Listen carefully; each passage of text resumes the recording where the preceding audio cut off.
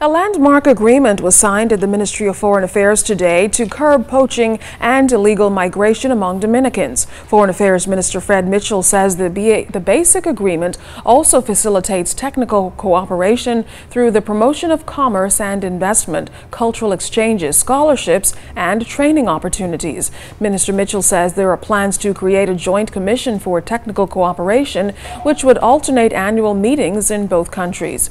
Minister Mitchell says the agreement signals the commitment of both parties.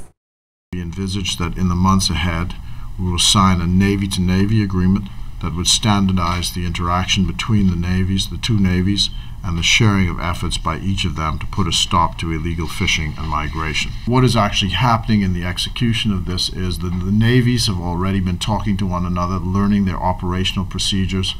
The Dominican Republic has said there's a commitment, I think, to put uh, trackers on the on the boats and ships, uh, and so we'll be working together to try and manage this problem.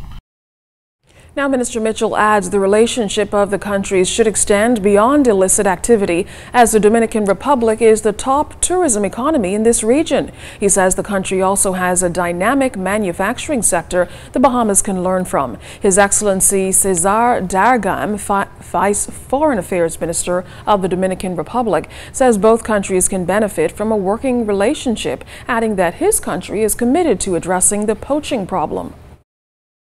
On the first hand, we have recognized that we have great opportunities on trade, on investment, on services, on fishing, on migration, on security.